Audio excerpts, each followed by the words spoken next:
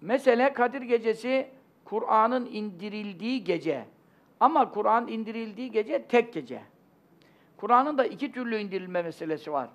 Hatta üç türlü indirilme meselesi var. Bir levh-i mahfuza indirilmesi, bir levh-i mahfuzdan birinci kat semaya indirilmesi, bu ikisi toptan. Bir de birinci kat semadan Efendimiz sallallahu aleyhi ve sellem'in kalbi şerifine indirilmeye başlaması. Çünkü o toptan indirilmedi, başlaması.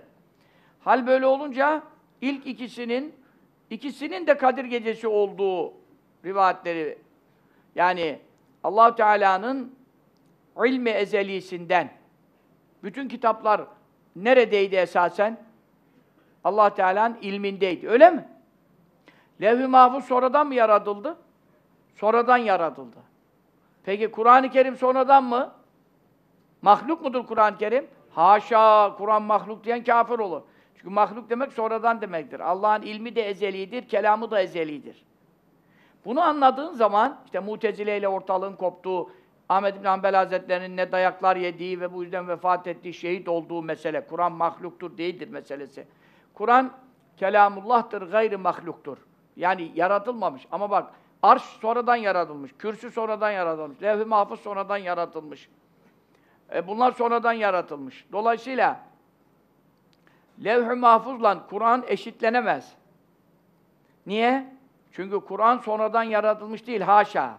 Kelam-ı ilahidir, kelam Allah'ın sıfatıdır, ezelidir. E hal böyle olunca, demek Allah'ın ilmi ezelisinden efendim levh-i mahfuza geçişi var, değil mi bir? Levh-i mahfuz yaratıldıktan sonra olacak bu işlem. Levh-i mahfuza geçişi nasıl olmuştur? Toptan olmuştur. Ayet ayet değil, toptan olmuştur.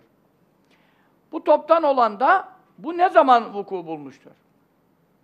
Bu ne zaman vuku bulmuştur? Alimler diyorlar ki ayet-i kerimelerde Kadir Gecesi inzal ettik buyurulduğuna göre buna başka bir rivayet arama lüzum yok. Levh-i Mahfuz'a ilk kaydedilişi de Kadir Gecesi vakı olmuştur. Ondan sonra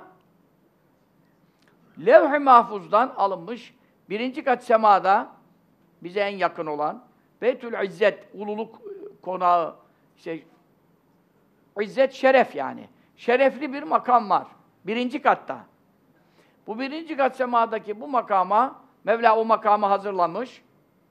Allah Allah. Levh-i Mahfuz'dan direkt gelemez mi? Gelir. Ama Mevlamızın işleri işte. Mevla şeref vermek istiyor.